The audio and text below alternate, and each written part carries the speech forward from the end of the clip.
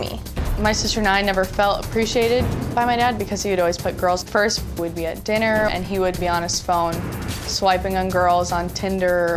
I've seen a temper in my dad multiple times. One time he was verbally abusive to me to the point that it was so loud that the neighbors had to knock on the wall to have us quiet down and he held me down. He kind of like laid on me and was like holding me down, like yelling at me like really close to my face. Another fight we had was over my sister and I's birthday weekend. He had told us specifically that there were going to be no boyfriends except the three of us. He invited a girl that my sister and I didn't know. Which was hypocritical because he had just told us that it was just going to be the three of us. We were in the car afterwards and he asked if I had fun. And I said, no, I didn't have fun.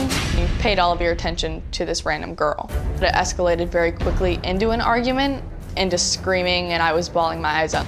The fight ended when I was telling him that my stepdad felt like more of a dad to me than he did.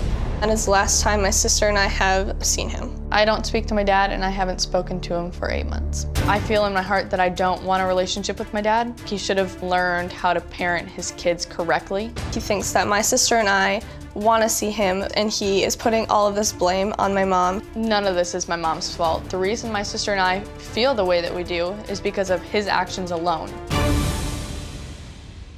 Thank you guys for being here. I'm loath to pull children into the middle of a tug of war between divorced parents. And I only do this in this situation because of two things. One, you're already there. And what I want to do is get you out. And two, you're very mature young ladies. So, do you not right now want to have a relationship with your father? Do you both feel the same way, or do you have different levels of, of animosity? I think we feel the same about not, like, as of right now, neither of us want to see him. And uh, how do you feel? I haven't wanted a relationship with him since we stopped talking in March, and it hasn't changed. And why did you stop talking in March? What happened? Uh, we got into a big fight over what we were doing. So I wanted to go to a funeral, and he said I couldn't go because it was a family weekend. So I was like, okay, that's fine.